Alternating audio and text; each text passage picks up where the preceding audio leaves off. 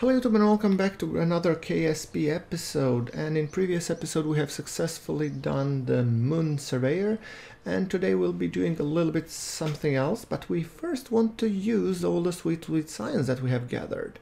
So electrics, yes, advanced electrics, yes I will need that, I will need foldable solar panels, batteries and whatnot.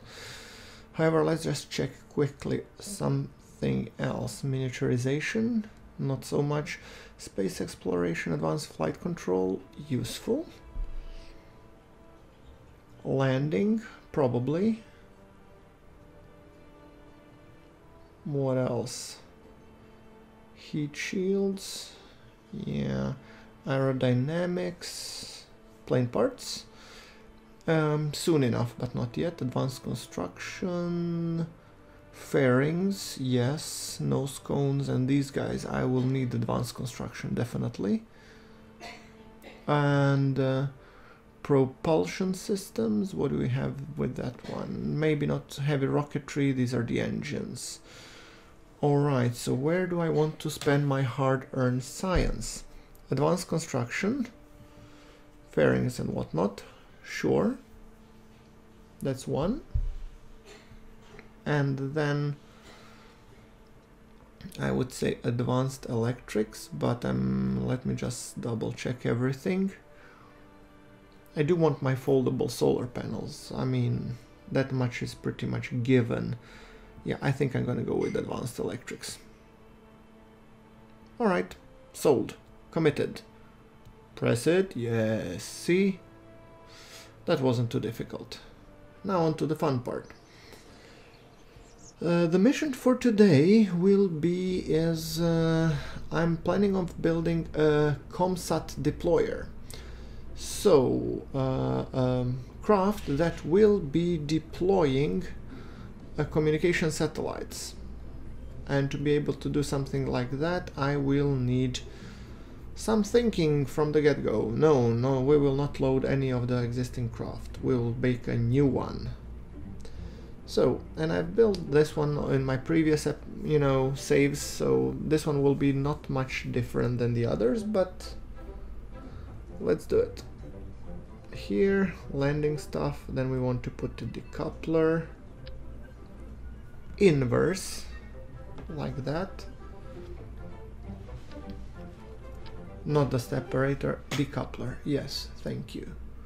I don't want too much debris stack tricoupler, yes, something like that. And then I want to put again decouplers on top. And the purpose of this craft would be to deploy three communication satellites in low Kerbin orbit. Well, not too low, but low enough.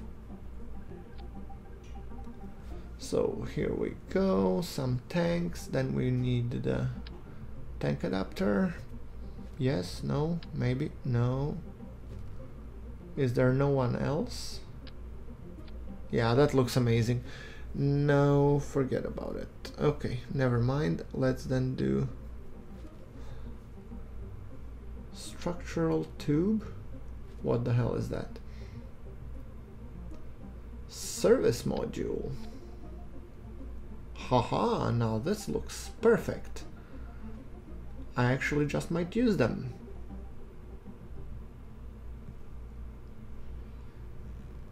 So if I remove the shroud, I could be placing some batteries, the small ones, of course. And for the communication satellite, it might be important to have some batteries because, yeah, it will need to be storing the energy. I mean, of course, it will have to have solar panels, of course, but uh, during the shade time of the planet, we want to have it, yeah. So shroud, okay, everything is unshrouded now and the batteries are inside. Then we want something like Probodobodyne Octo. Do I want Stayputnik or Octo? I think I'm gonna go with Octo. One time solar panels. By the way guys, the difference between these guys and the other ones is because these ones are not refoldable. I'm actually thinking I'm gonna take the one that are in row.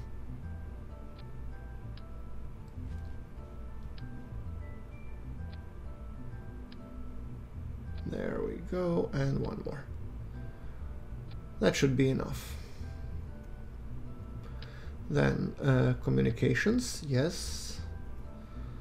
Another set of communication antenna.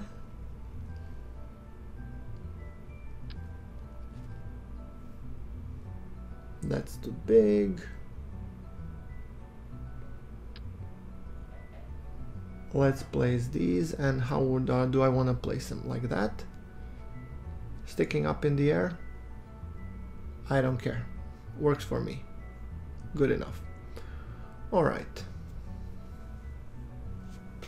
Utility, com satellite deployer Mark 1. And as always guys, I will be sharing this in my, you know, Steam Workshop.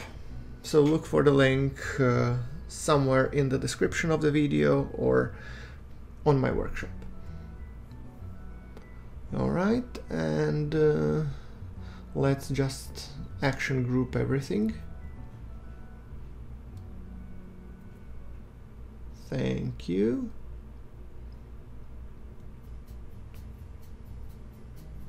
Alright.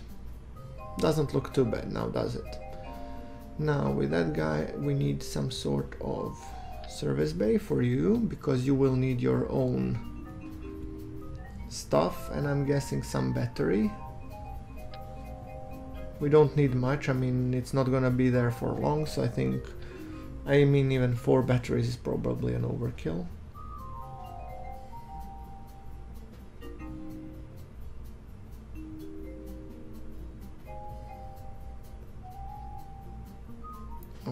Then I want to be putting a heat shield.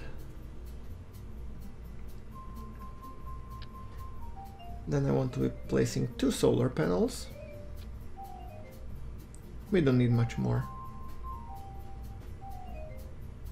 A tank. Decoupler underneath, yes, sure. Then I want to be placing a tank and a Terrier engine.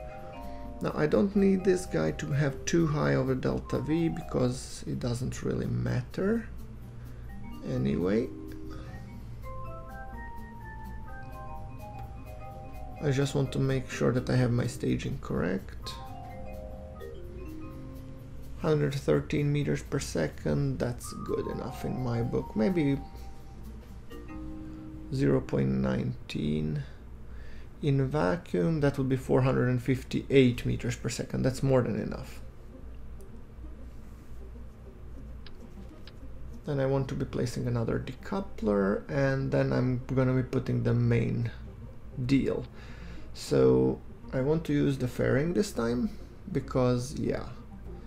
What I'm gonna be launching is pretty beefy and uh, I want it to be properly enclosed There we go. Looks about right. Perfect. Alright, now we have to design, this is the payload. Now want to, we want to be designing the body of the rocket itself, so... Fuel tanks. And the Rockomax is too big. I think the 1.8 meter is just about the right size, so yeah, this would be funny. 107. Hmm.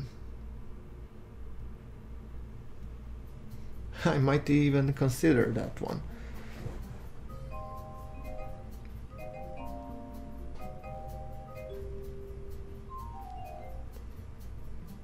Put something like this with the decoupler. Oh, that just looks hideous.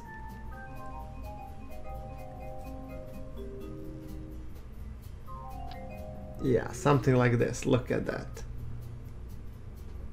There we go. That's just darn amazing.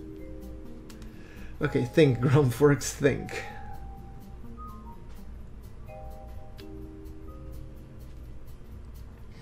We're going for total realism here, boys and girls. So, nope, nope. Yes, now look at that.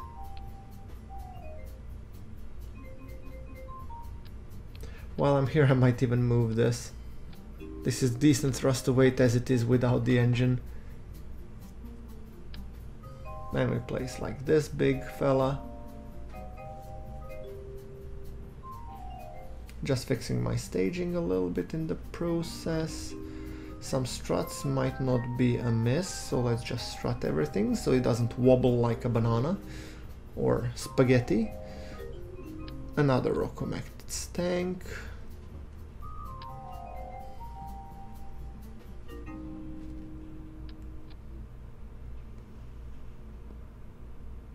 white tanks and then finally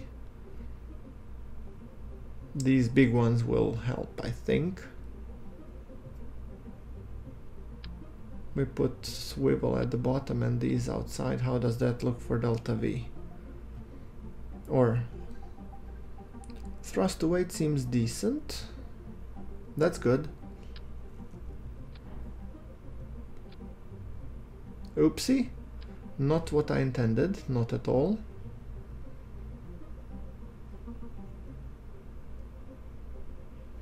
I want the decoupler first. I was even thinking of putting, you know, like something like this variant, but this wasn't all too great.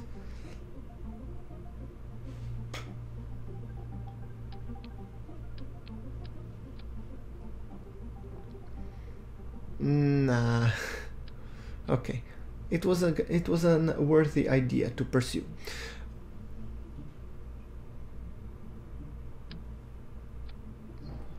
I have to figure out a better engine placement. Well, something like that and then reliance out yes they burn together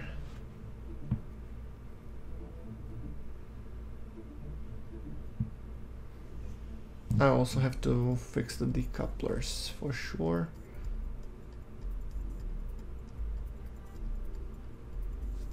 One point eleven, that's a little bit low-ish.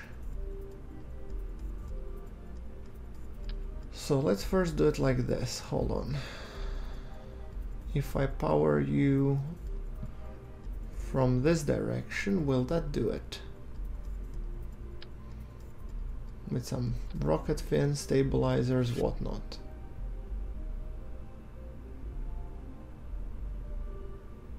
Would that do it?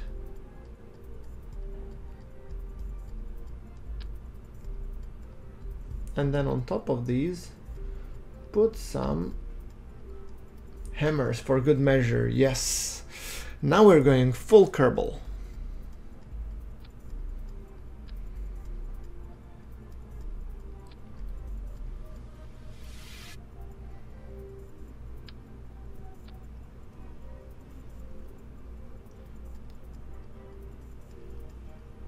Now this really looks Kerbal.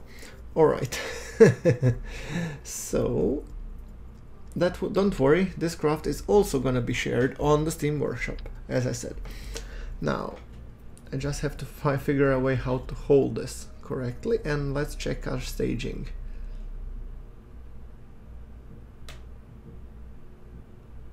I think it's time to launch. Let's launch it.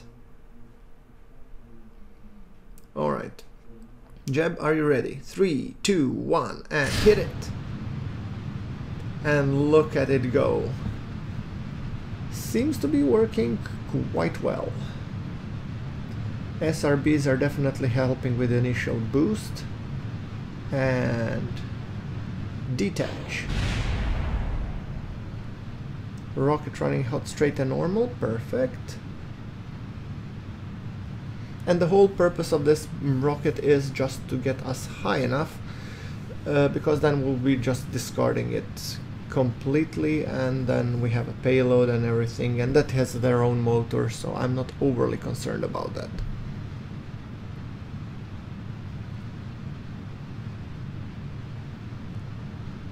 And as you can see I'm going for a little bit more steep angle just so that I don't break something in the process.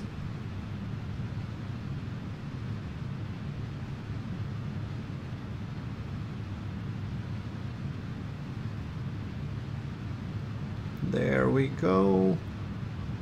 She flies perfectly, I mean...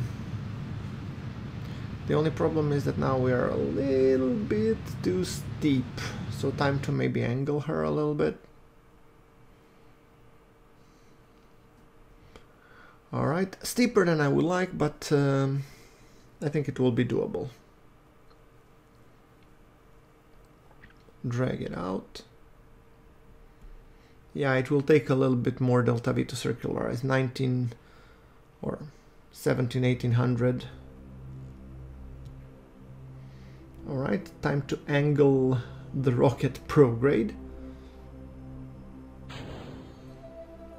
Getting rid of the fairing.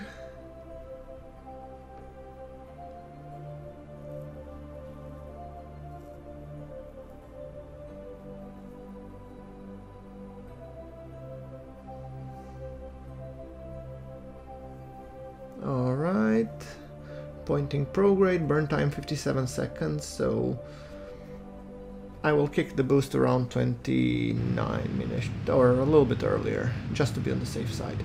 Look at that screenshot, awesome.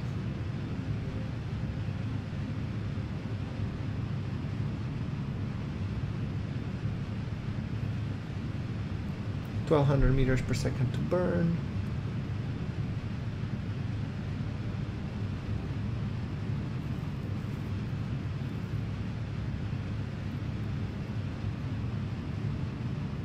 Four, three, two, one, and hit it. And there we go. Perfect. That's what I call a good enough circularization. Let's extend some solar panels. There we go. Time to now start looking into how to deploy the satellites. Jeb, are you ready, buddy? Screenshot. I'm always taking a lot more screenshot than I need by because I don't know which one would be um, the screenshot of choice. Alright, so the time has come to start burning and I would like to place them around 800 kilometer orbit ish 800 850 or something so let's just make a maneuver node and bring the apoapsis up to say around 800-ish.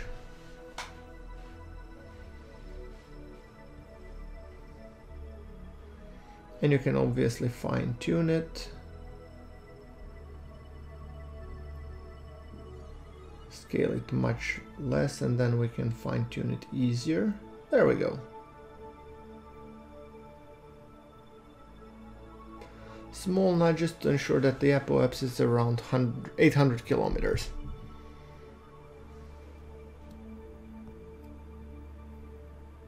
Perfect. And our node is in 30 minutes with a burn time of 8 seconds. And now I can just manually tweak the values just to see if I manage to get a more accurate apoapsis. Yeah, 800 024, perfect.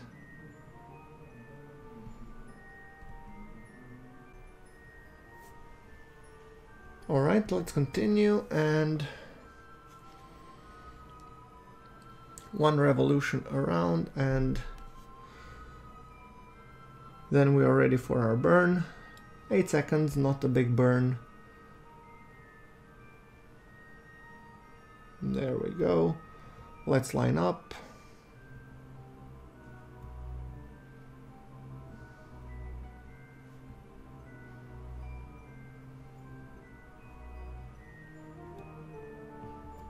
All right, T minus 25.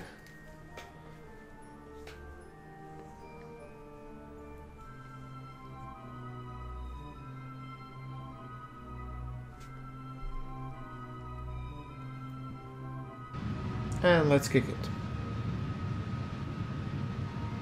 And we're there. 2.5 meters per second. Perfect. So that brings us to a nice 800 kilometer orbit. at which point we will be deploying the satellites.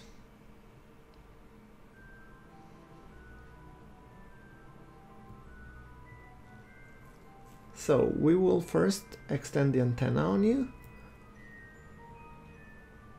and then we can extract the solar panel, one of them, just to make you ready.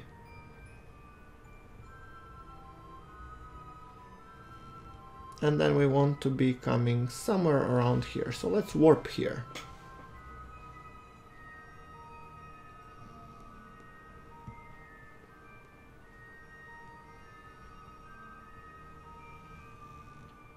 Perfect, time warp complete, and uh, now I want to be decoupling you. There we go. Thank you so much. Let's change the craft. Active vessel.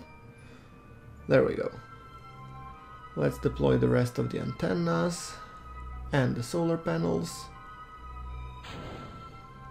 I can even dump the fairing for what it's worth.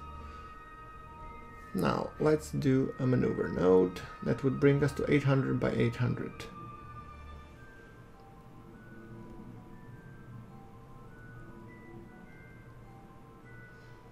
And that would give our orbital period 1 hour 33 minutes-ish around. So if I fiddle with the node then it will be 1 hour 32 minutes 39 seconds. Alright, let's just point maneuver node prograde and get ready for the burn, obviously. Kick it. There we go. Thrust limiter just to finally, finally adjust. Raise the periapsis as much as we can to 800 by 800. Oops, and then I pressed the wrong button. You dumb you, dummy you. Ugh. Actually, I wanted to press the screenshot and then I pressed Control by X or Shift by accident.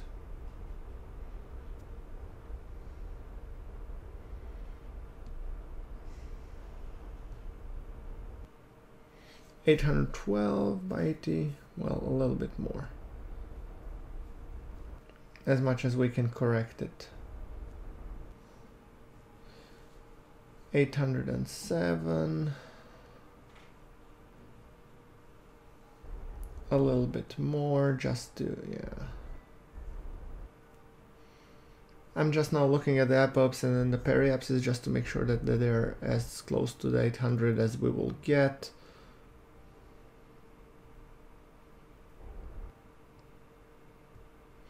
1 hour to 32 minutes 20 seconds. I guess that's good enough for me, so let's thrust it and shut down the engine.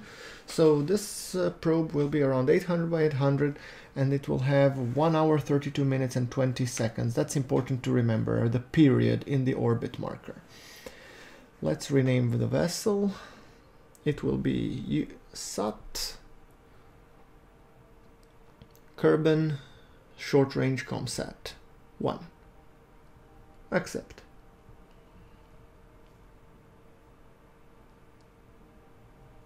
Looks good enough to me. Next one. Now guys, uh, since uh, I will have already shown you how to deploy the one, I'm gonna do this in sort of a time lapse or wildly accelerated, so it will be very very much accelerated because I don't think it makes sense for me to repeat everything twice. So you know, extending solar panels, decoupling, switching to craft, and making sure that we extend everything and circularize in the right orbit. And uh, the most important thing that we'll be looking this time is the orbital period rather than apoapsis and periapsis because the, the target orbital period is 1 hour 32 minutes and 10 or 20 seconds. So, getting ready and then we will be hitting the gas on the second one. A little bit less thrust so that we can, you know, be more precise. There we go. And then even smaller thrust that we can fine adjust it. 130 to 18 and 20. Perfect. Shut down engine, turn it around and rename it Sat Kerbin SR Comsat 2 and then we have one more to go. Extend, extend everything. Perfect. You do another lap. All right, and then you will be decoupling yourself. Perfect.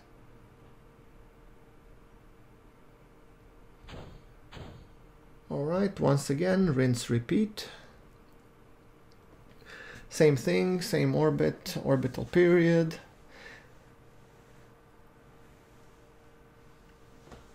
Thrust limiter of 50 and 13 minutes, uh, 13 seconds burn time.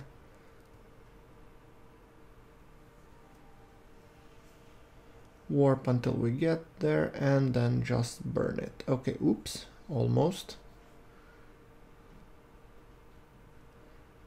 And hit it.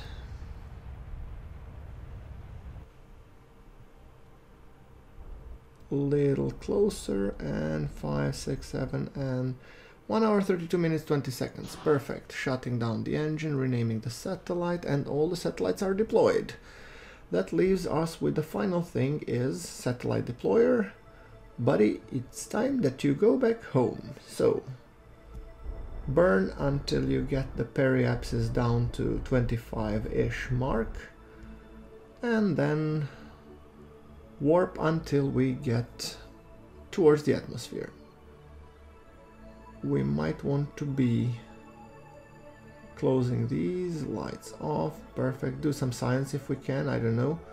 EVA report, perfect. Board, do the flippity flip. And then get close that we get into the... Oh, and we're already in the atmosphere. Perfect. Then let's burn until we decouple this guy. Move, move, bye-bye hitting the brake and hitting another brake. We have a total of 1200 meters per second of brakes, so we might as well want to be retracting the solar panels. Oopsie, I forgot to do that. Hitting the brake. Kinda hard.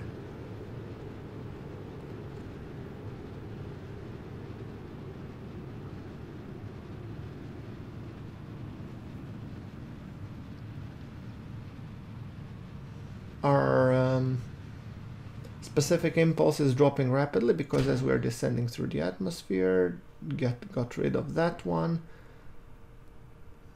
And we are slowly but surely coming down. And as you can see, we have established our communication satellite network. So, you know, guys, what to do, to do once we hit the ground. We, there won't be much science. So I'm gonna, you know, ask you to also let me know how do you deploy, you know, your communication satellites. I tended to do it by matching first time orbit, second time periods, and then see how it works. Jebediah is coming back from his hero mission, which will bring the betterment for all Kerbal kind. Let's see if we can do some more science crew report surface sample and then yeah let's recover the vessel. So as always 22 science not bad. Guys you know what to do. Like if you like the episode hit subscribe and i will be seeing you all in the next one. Until then thank you very much for watching. This is GrunfWorks signing off